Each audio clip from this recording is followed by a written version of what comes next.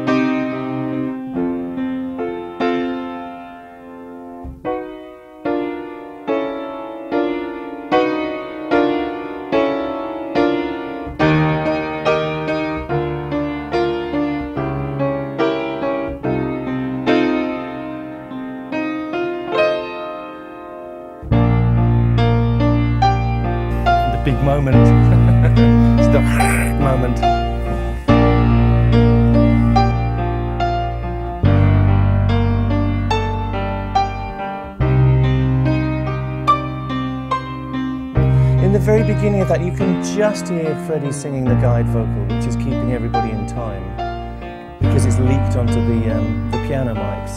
But normally he would have had a, talkback mic as well.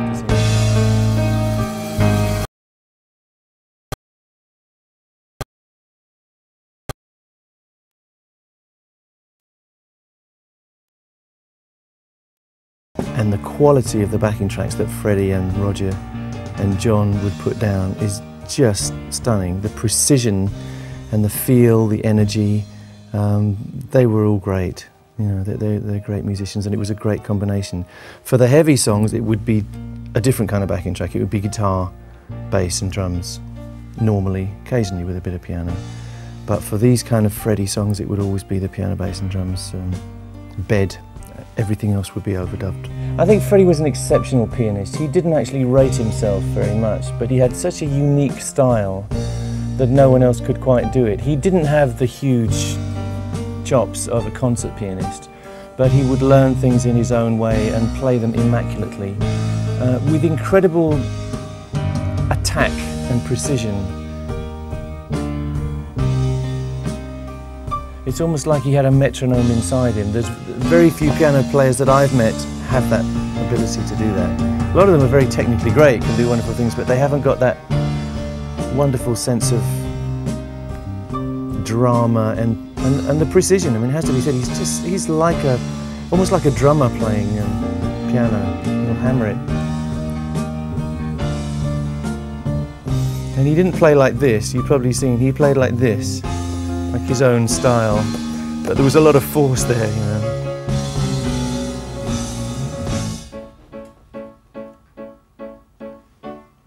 It's totally like a metronome. You know, he's not playing to a click or anything, that's just the way he plays.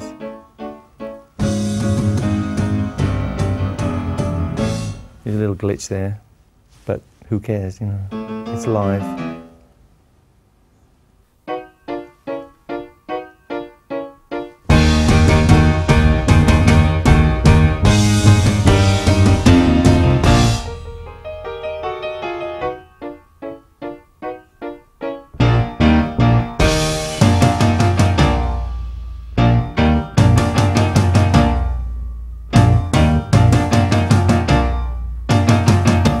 Hear that, it's kind of hard to hear the whole operat operatic thing in your head, but it's, it's all in Freddie's head at this time.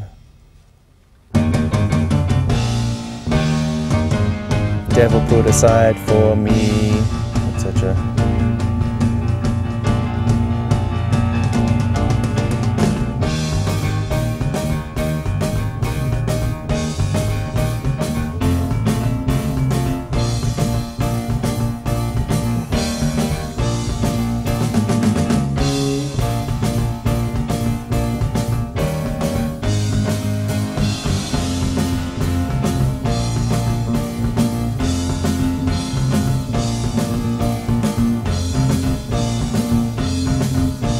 course, this, this bit is designed to have the heavy guitar on it, which we'd already discussed.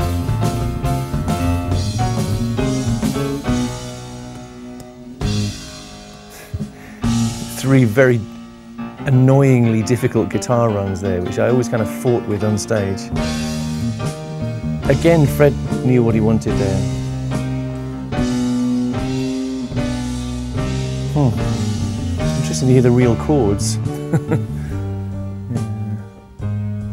Of course, the sort of orchestrating with guitars was something that I did as an adornment, but totally with Freddie's um, approval and um, cooperation.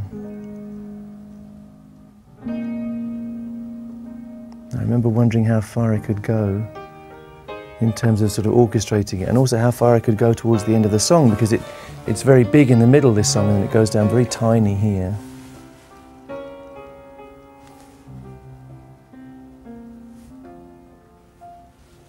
I remember thinking maybe that should be just piano, maybe I shouldn't be doing guitar on it, but Freddie liked just coming down to the little solo guitar. The harmonies at the beginning of this song are not all of us, they're just Freddie multi-tracking himself, so it'd be worth going back and listening to those. It starts off with Freddie's live count.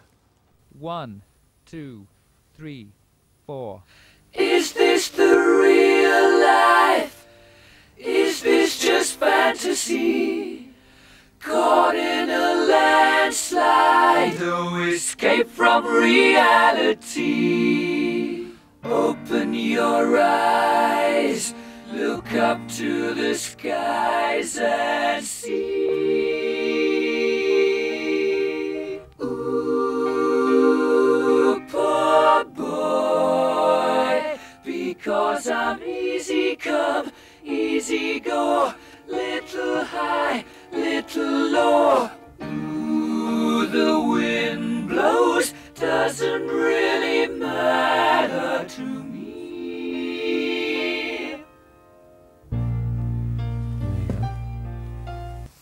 Hmm. Sounds kind of different without the lead vocal in there, isn't it? And of course, he's singing to his guide piano, but the guide piano is taken out in the end because all you want is that a cappella piece on its own. It's quite beautiful, I think. We have three different bass tracks, just to be different.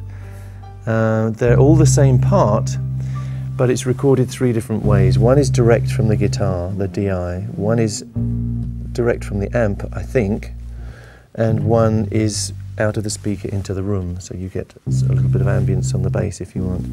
So the bass sound is a mixture of all three.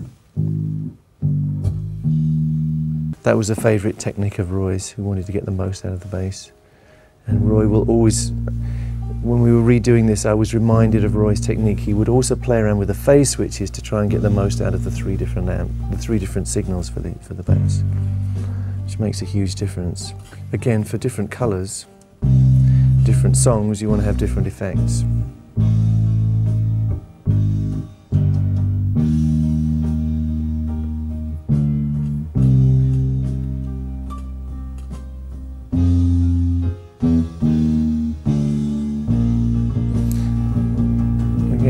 Hear how locked in they are. I mean, Johnny's completely locked into Freddie's left hand, which is doing more or less the same thing.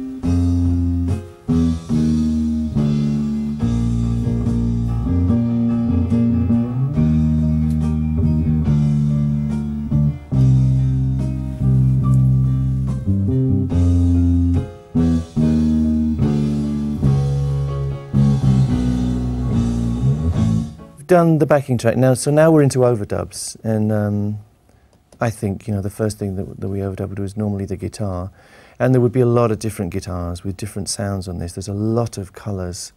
Quite deliberately, I used all different um, pickup settings and different amps even to get different sounds, almost like you were building up orchestral sounds um, using different instruments.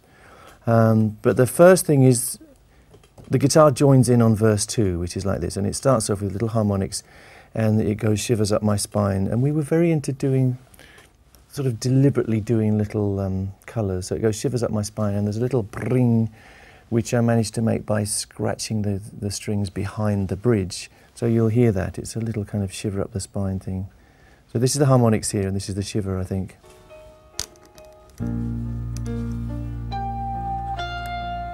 This is the harmonic.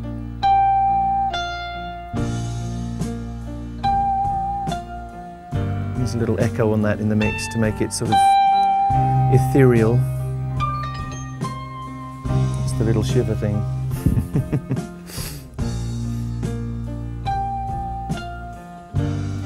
and then at the end of this, this is where the song starts to grow and face the truth is where the guitars come in.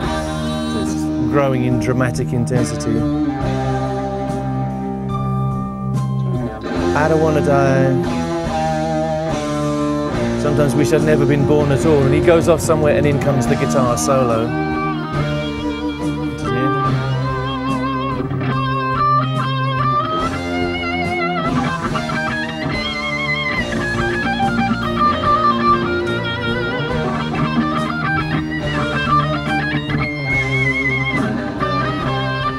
I was always keen that the guitar solo should not be just like playing the tune again because it's kind of lame. It's, it's, kind of weak. So this guitar solo, like a lot of them, should we stop for a second? This guitar solo is a, kind of a separate tune. It's a little counter statement. Um, and this do do do do do do do is a, I don't know where it came from, but I could hear it in my head from the moments when they were practicing it. I thought that would be a nice little counterpoint to what's going on. So it's a verse structure, but the tune is completely different. See what's on here.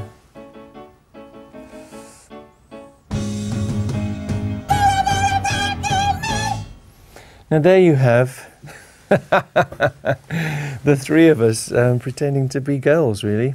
the female part of the choir. Do you want to hear it again? Come on. Bolt and lightning. Hmm. So that's the top line. it sounds pretty weird on its own, but of course it, it all makes sense in, in the structure of the harmonies. Let's try the next track. Scaramouche, Scaramouche, will you do the fandango? Lightning, very, very frightening me. It's another part. It's the same as this part, isn't it? And again. Any more here? I think so.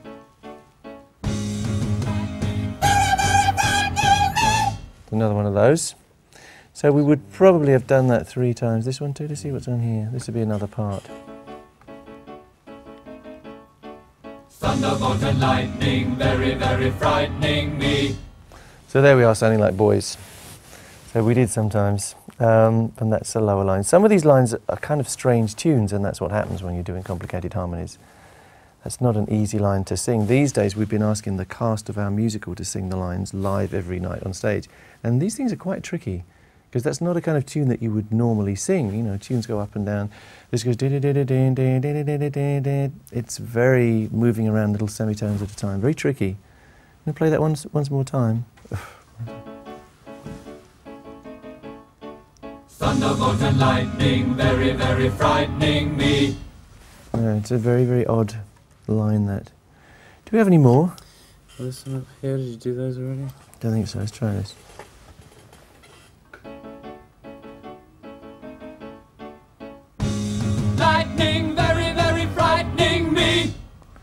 So those two tracks are two versions of the same line, and that's normally what we do. We would sing, three of us would sing the line once, double it, in other words, do the same thing again, and then probably triple it. So you have three tracks of us all singing the same line, and only then do you move on to the next part. So all these would have been here, although some of them have disappeared because other things got written over them. But they've all been bounced, and the bounce is over there. Thunderbolt and lightning, very, very frightening me, all bounced together sounds like this. Scaramouche, Scaramouche, will you do the fandango? Thunderbolt and lightning, very, very frightening me. So it sounds like a lot of people singing, really, and part of that's good construction, and part of it's luck because our voices um, blended very well. As, as soon as there was three of us singing, it sounded like quite a lot of people, really. It's because you know we were lucky in that we had different kinds of voices, the three of us. Um, John opted out. John was not a singer. he took care of the low end. Okay, the next section is, is quite interesting because it's Magnifico, and this is one of our favourite tricks, and we did it with vocals, and we also did it with guitars. It's kind of lifted off Mantovani, really, or uh, in in the 30s it used to be called the bells effect, I think. And what it is is somebody starts off and holds the note, and while they're still holding it, somebody else comes in singing a different note, and then a third, and then a fourth. So you get this kind of cascade of harmonies building up. Starts off with one part, and by the time you get to the bottom of the cascade, it's a whole chord. So that's what we're doing here. Now, some of them are still here and some of them are not. And when we were trying to remix this for surround, I wanted it to go, oh, oh, oh, but it was quite tricky because we have the bounce, but we only have some of the separate parts. We solved it. We managed to get it to more or less do that, but it was by a little bit of trickery. So see if we can find these parts. This is Magnifico, right?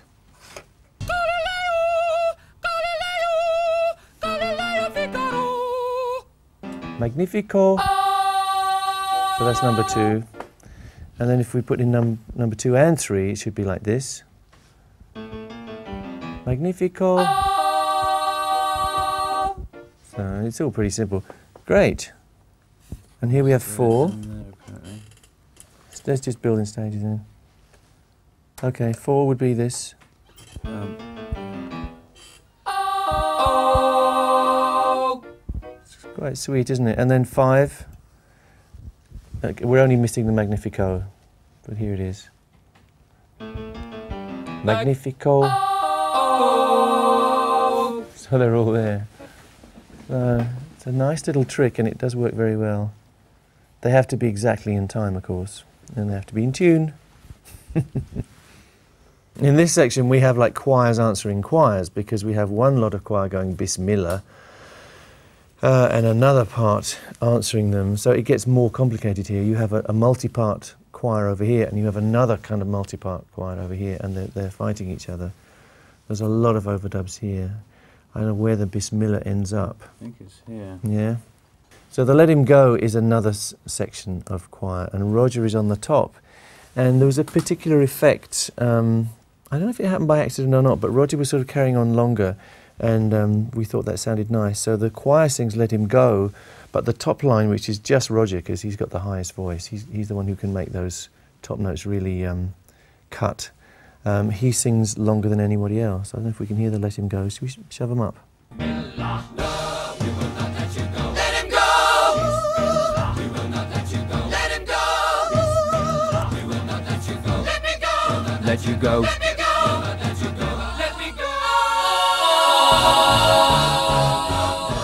Oh, So there's another one of those cascades there. Let me go, which is constructed in the same way.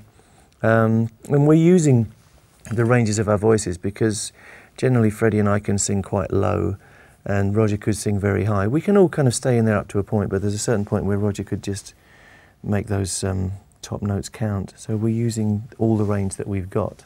And towards the end of the operatic bit, you've got the band coming in. It's almost like the band come back on stage. The guitars come in first, and then there's a different guitar comes in with a different sound, more harsh. And then when Freddie comes in, he's very harsh. He's he's really at the top of his range, and he's double tracked, and it's a magnificent sound. I think um, the only person who came close to achieving it was Axl when he did the, the tribute. Um, but Freddie had this amazing razor sharp top end to his, his vocals, real crystal sound. It's double tracked here. And in the beginning, I remember it, it was going to go, So you think you can love me and leave me to die? But he changed it towards the end. It went, die, which is a lovely little touch. Just takes it way up there and really sends a shiver up your spine, I think.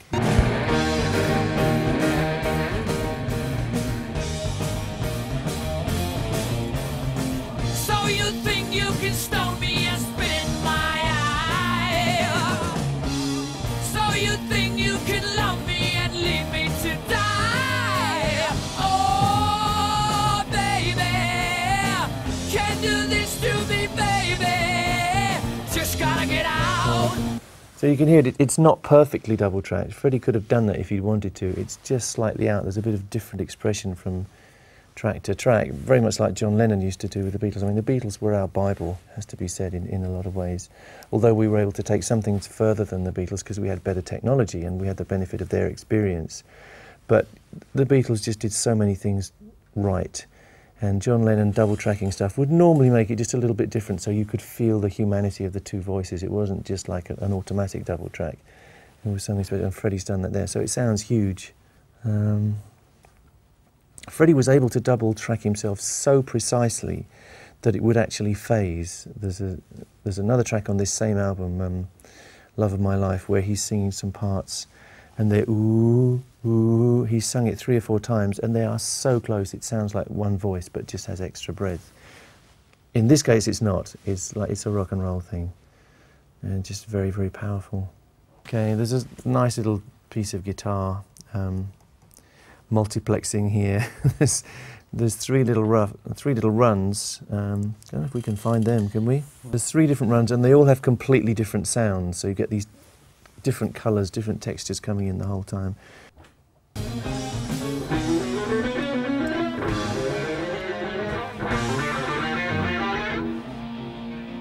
And there's a big chord over there someplace. The last one, the last run is double tracked in octaves to get again a, different sound. And it's followed by the sort of big triumphant piano run up.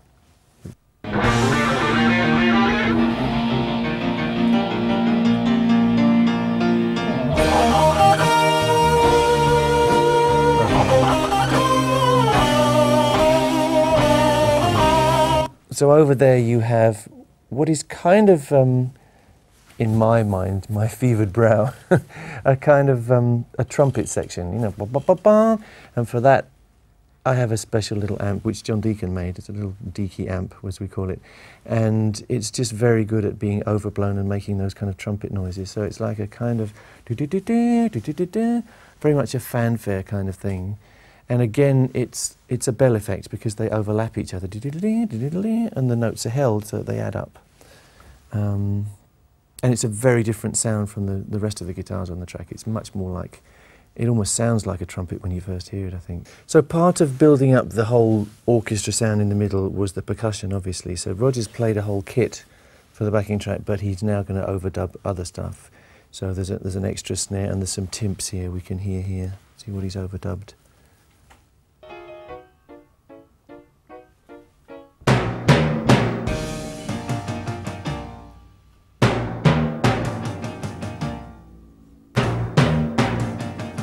Nicely tuned.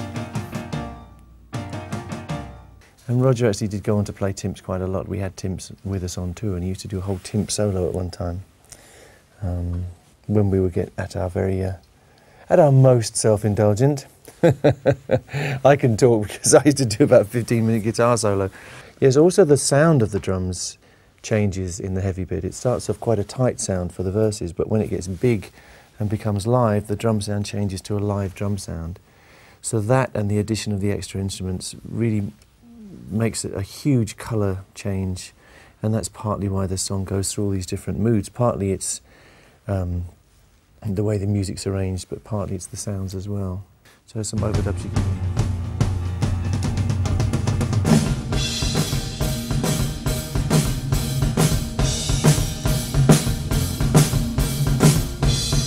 Big fill.